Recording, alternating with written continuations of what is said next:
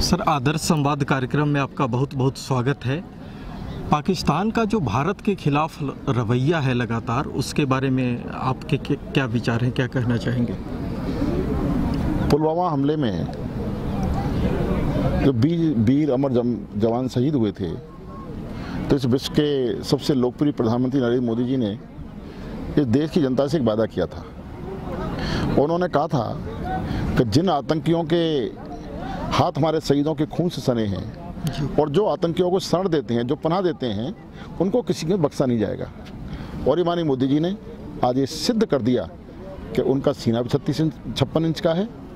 और ये भी सिद्ध कर दिया अगर इस देश की कोई रक्षा कर सकता है कोई सुरक्षा कर सकता है अगर इस राष्ट्र को आगे बढ़ा सकता है नए भारत का निर्माण कर सकता है तो केवल मोदी जी हैं। जी और 2019 का जो लोकसभा चुनाव है उसमें बीजेपी की जीत को लेकर के कितने आश्वस्त हैं किस तरीके से आप इसे देखते हैं?